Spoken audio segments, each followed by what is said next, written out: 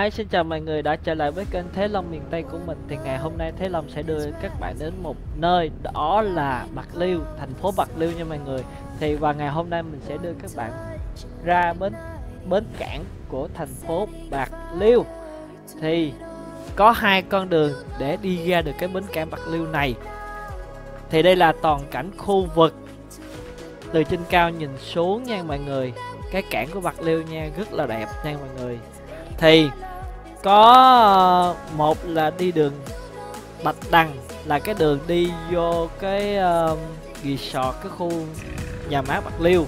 Còn hiện tại con đường mình đang quay là con đường này là đường hoàng sa là cái con đường mà nằm dưới cái chân cầu để đi qua bên bà bà nam hải nha mọi người.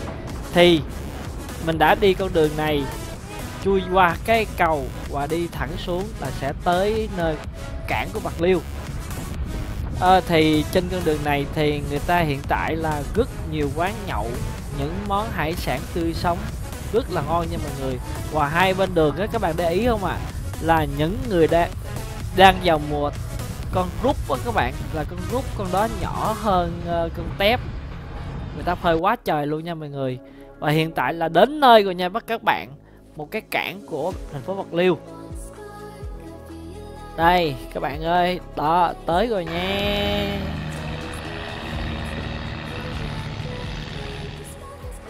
Và đây là cái khu cảng của ờ, tàu ghe đi đến bắt cá ở ngoài biển vào bến cảng của thành phố bạc liêu. Thì những cái khối hình trụ này được đặt trên gần sát đê biển để cho sóng biển đừng có đánh vỡ bờ đê thì cái này thì gọi là trụ đê biển nha mọi người. Thì những cái trụ này là bê tông trong trọng không rất là cứng cáp nha. Mình cũng uh, leo ra bước lên thử và tính bước xuống thêm mấy cái trụ uh, trụ dưới nữa nhưng mà thấy hiu quá. Thấy nó dễ bước lên chứ thực sự là khó đi lắm nha các bạn. Một tay thì đang cầm camera còi còn tay còn lại thì đang quay. Nên nhiều khi cũng hơi nhát chân. các bạn thông cảm cho mình nhé.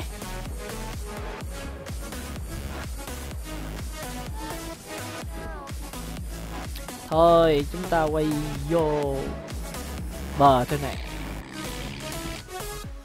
đây là cái con cây cầu đó nha các bạn. Cái cầu, dưới chân cầu đó các bạn có thấy cái con đường không ạ? à? Thay vì mình lên cầu mình qua bển là cái chùa bà Nam Hải nha. Còn nếu như mà mình đi đường dưới mình ở dưới chân cầu mình đi ra cái cảng thì lúc trước tới giờ là mình từng đi bạc liêu rất là nhiều rồi mà mình chưa có từng đi ra cảng của bạc liêu. Thì hiện tại uh, mình uh, phát hiện được chỗ này và mình thử đi. Và thực sự là cảnh rất là đẹp luôn nha mọi người. Đây là một con tàu rất là lớn từ ngoài biển đi vào sự rất là đẹp nha mọi người hả? Quá trời tàu ghe đậu hai bên uh, nhà dân. Và con đường này là con đường thứ hai nha. Mình sẽ đi thông qua cái chỗ về hotel resort khu du lịch nhà mát bạc liêu nha mọi người. Cách thành phố bạc liêu khoảng 8 cây số. Nằm trên đường đê biển. Đó các bạn có thấy không ạ? À? hiện tại thì con đường này á uh, dạo này là dịch mùa dịch nên ít khách tham quan nên các bạn có thấy không ạ? Người ta tận dụng hai con bên đường để uh, phơi mấy con rút con nha.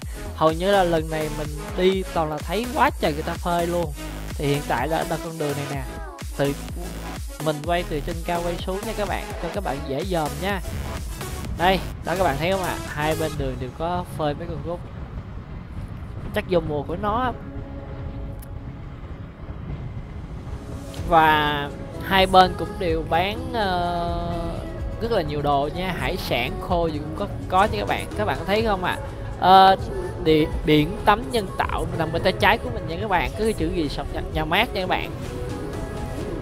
Đây và nếu như đi thẳng và sẽ ra tới nhà mát bạc liêu nằm trên đê biển. Thì ra tới đó cũng có một cái nhà hàng nhỏ nhỏ nằm trên nằm trên biển nha đây là quẹo bên tay phải là sẽ ra ngay chỗ cái khúc ban nãy mình đứng.